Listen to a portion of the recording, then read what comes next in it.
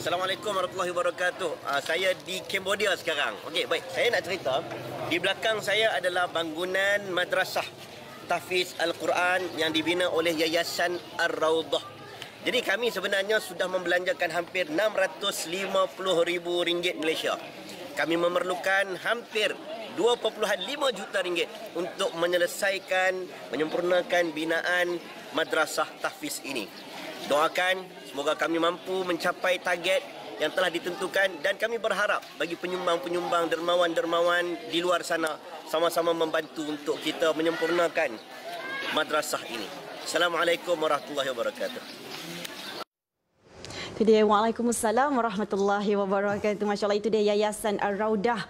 Uh, kita tahu satu uh, kata uh, pusat ataupun uh, badan NGO yang banyak sangat membantu masyarakat di luar sana terutamanya uh, di Nusantara. Jadi hari ini kita nak tahu berkaitan dengan infak pembinaan Pusat Islam Yayasan Ar-Raudah di Pusat Kemboja dan bersama dengan Dewi sekarang ni uh, ada dua orang tetamu kita di sebelah saya ini. Uh, kita ada Encik Muhammad Azam Kamis ataupun dikenali sebagai Cikgu Azam selaku pengurus projek Yayasan Ar-Rauda. Assalamualaikum cikgu. Assalamualaikum warahmatullahi Apa khabar? Alhamdulillah. Alhamdulillah, masya-Allah. Dan di hujung sana, siapa tak kenal, kita ada selaku duta khas pembinaan Pusat Islam Yayasan Ar-Rauda Pusat Kemboja iaitu Imam Muda Ashraf. Apa ya. khabar Imam? Alhamdulillah, sihat walafiat. Sihat hmm. alhamdulillah masya-Allah. Saya semangat cikgu ni. Ya, masya-Allah. kan. Jadi kita dah tengok visual sebentar tadi kan ah, berkaitan dengan ah, Pusat Islam Yayasan Ar-Rauda di Pusat Kemboja. Jadi cikgu mungkin sebagai permulaan sebagai pengenalan mungkin uh, cikgu boleh kongsikan tentang Yayasan Ar-Raudah dan projek pembinaan Pusat Islam Yayasan Ar-Raudah di Pusat Kemboja. Terima kasih uh, Cik Dewi dan TV Gerah bagi kami kesempatan pada hari ini. Alhamdulillah uh, Yayasan Ar-Raudah ni telah ditubuhkan pada 2007. Mm-hmm. Uh, pada masa itu uh, kita bergerak di Nusantara lah uh, termasuk di uh, Semenanjung Malaysia sendiri mm-hmm. kita ada madrasah di Kelantan di Peroi dan alhamdulillah uh, uh, tercetusnya apa Yayasan Ar-Raudah ni dibentuk apabila pengasas kami lah mm-hmm. Tuan Haji Hasbi masa itu di 2004 okay. berada di Mekah. Oh, uh, masa itu berlaku kalau tuan-tuan ingat tsunami di Aceh. Mm, betul. Jadi bila Tuan Haji Hasbi melihat kesedihan ahli keluarga jemaah haji Aceh mm-hmm. dan beliau membuat keputusan balik untuk beri bantuan lah. Dan langkah pertama bila beliau sampai di tanah air, mm-hmm. beliau terus ke Aceh mm-hmm. dan di sinilah bermulanya kami membina sebuah rumah anak yatim. Mm-hmm. Tak ramai, hanya 10 orang saja. Kita ambil 10 orang dan alhamdulillah di Luk Semawi. Mm-hmm. Dan sampai saat ini dah kami dah pusat uh, pendidikan kami di Lok Semawi dah ada hampir 500 orang pelajar lah Masya yang Allah. anak yatim yang dulu pun dah balik habis belajar mm-hmm. dah mengajar di situ. Ya, uh, jadi Alhamdulillah lah sekarang kita di Nusantara ni mm-hmm. kita bergerak uh, kita selain di Kelantan kita sekarang bergerak ke Kemboja lah mm-hmm. uh, untuk membantu orang di sana. Dan Yayasan Ar-Rodah ni sebenarnya Alhamdulillah digerakkan oleh profesional-profesional uh, terdiri daripada ada magistrate, tuan saya sendiri cikgu, mm-hmm. ada ahli korporat dan uh, kami bergerak secara sukarela. Mm-hmm. Sukarela ni maksudnya tak ada gaji dan tak ada apa-apalah. Jadi alhamdulillah di uh, sekarang daripada kita juga ada madrasah di Medan, mm-hmm. uh, selain di Luk Semawi, Aceh, kita juga uh, macam saya kata tadi di Kelantan dan yang terbaru kami nak binalah pusat Islam uh, Yayasan Ar-Raudah di Kemboja. Ya. ya itu yang yang terbaru lah. Itu itu yang terbaru antara projek yang terbaru nak ya, ya. membantu ya. masyarakat di Kemboja ya, pula. Ya. Jadi uh, cikgu mungkin boleh uh, uh, kongsikan tentang perancangan Yayasan Ar-Raudah di uh, pusat Islam di pusat Kemboja dan bagaimana agaknya perkembangan terkini, berapa kutipan yang diperlukan uh, dan sekarang ni keadaannya uh, dah siap bagaimana uh, dah siap berapa banyak ni proses? Ya alhamdulillah di Kemboja ni kita dah pergi dah 16 tahun lah. Ah. Yayasan Ar-Raudah di Kemboja di khusus di pusat. Mm-mm. Pusat ni satu negeri yang terletak uh, lebih kurang 5 jam perjalanan daripada Phnom Penh.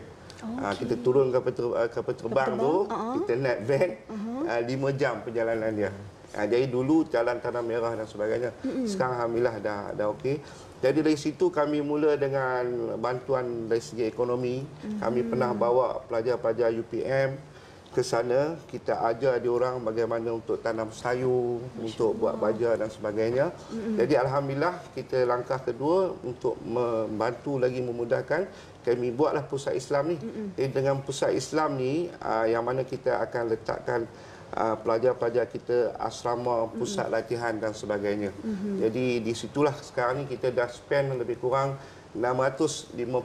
Mm-hmm. Uh, kita dah siap fasa pertama dan untuk menyelesaikan seterusnya pembinaan tersebut kita memerlukan lebih kurang 2.2 juta 2.2 ah, juta. Ya. ya itu di 2.2 juta lagi untuk menyiapkan pusat uh, Islam uh, di yang kata di pusat Kemboja ya. ni kan. Jadi ustaz Ya. Uh, saya rasa ustaz dah sampai sana. Ustaz dah tahu kan ya. keadaan hmm. macam mana kesusahan mereka hmm. uh, rakyat di Kemboja, se-Islam, saudara se-Islam kita. Mungkin pengalaman ustaz dan juga uh, macam mana ustaz untuk kita membantu masyarakat di sana kita tahu berinfak bersedekah berwakaf itu yang dapat membantu mereka ustaz jadi ustaz ya. baik uh, assalamualaikum warahmatullahi wabarakatuh mm-hmm. baik cikgu dan juga dewi saya sendiri belajar di madrasah dulu mm-hmm. jadi dalam perjalanan ke Kemboja. Ya. Jadi saya ada mindset tertentulah kepada madrasah-madrasah. Mungkin sama seperti di Malaysia ataupun berbeza. Mm-mm. Lima jam perjalanan, kita pergi jumpa dengan mufti pusat. Dia ada mufti negara Mm-mm. dan ada mufti negeri. Mm-mm. Jadi mufti pusat sendiri yang endorse madrasah ini mm-hmm. membenarkan untuk beroperasi. Ha, dia bukan semua bukan. semudah itu dan dan kehadiran hampir lebih kurang seluruh ha, pelajar-pelajar daripada seluruh Kemboja Mm-mm. ke situ 120 orang pelajar perempuan dan hampir 80 orang pelajar lelaki. Mm-hmm. Madrasah ni subhanallah saya tengok sendiri macam mana dibina satu tingkat dengan kos RM650,000 yang kita collect. Dapat-dapat kita guna terus. Dan kita nak nak buat dengan sesegera mungkin nak menjana pendapatan. Kita ada 40 ekar tanam padi, kita ada 7 ekar ladang wakaf. Ini semua sumbangan-sumbangan daripada orang-orang di Malaysia. Kita gunakan duit untuk uh, generate income dengan uh, duit uh, korban akikah untuk memberikan pendapatan kepada masyarakat yang saya sendiri tengok penuh dengan kedaifan. Uh, bezalah madrasah kita dulu. Bezalah dengan madrasah dia orang. Pagi-pagi makan bubur dengan ikan masin tu macam saya ingat tiap-tiap hari cikgu tu. Hmm. Tiap-tiap hari bubur nasi ikan masin. Hmm. Hampir setiap hari. Ha, jadi ayam tu seminggu sekali je lah. Jadi kita cuba bagi dan alhamdulillah ya saraudah sumbangan daripada masyarakat di Malaysia. Hmm. Kita top up sikit bagi makanan-makanan yang lebih sihat dan baru-baru ni kita buat program kesihatan, pergi hmm. cek kesihatan dia orang sebab kita nak bagi uh, suasana yang berbeza dan boleh dicontohi oleh madrasah-madrasah yang lain. Ya. Masya Allah. Itu dia. Jadi uh, Ustaz boleh kongsikan bagaimana mungkin penonton-penonton di luar sana untuk bersama-sama kata berinfak Ustaz dengan kebaikan infak ni Ustaz. Yalah, mana qasad sadaqatu min mal tidak berkurang harta dengan dengan bersedekah. مثل الذين ينفقون أموالهم في سبيل الله كمثل حبة أنبتت سبع سنابل في كل سنبلة مئة حبة والله يضاعف لمن يشاء والله واسع عليم. Tuan-tuan nampak dekat dekat skrin tu. Mm-hmm. mungkin kita tak sempat nak sebut. Dekat skrin tuan-tuan tangkap gambar. Uh, number account di situ sama-sama kita bantu. Uh, kata Allah Subhanahu Wa Taala perumpamaan orang yang memberi sedekah ini umpama kita tanam pokok ada tujuh tangkai setiap tangkai itu tumbuh lagi tujuh ratus dahan. Dia menggambarkan Allahu yudha'ifu liman yasha. Allah bagi gambaran bahawa ganjaran itu tidak ada limitasi. Dan kita pun harap uh, baru baru ni saya cakap juga di sini saya cakap hmm. salah satu yang diamalkan oleh salafus saleh orang sakit sedekah.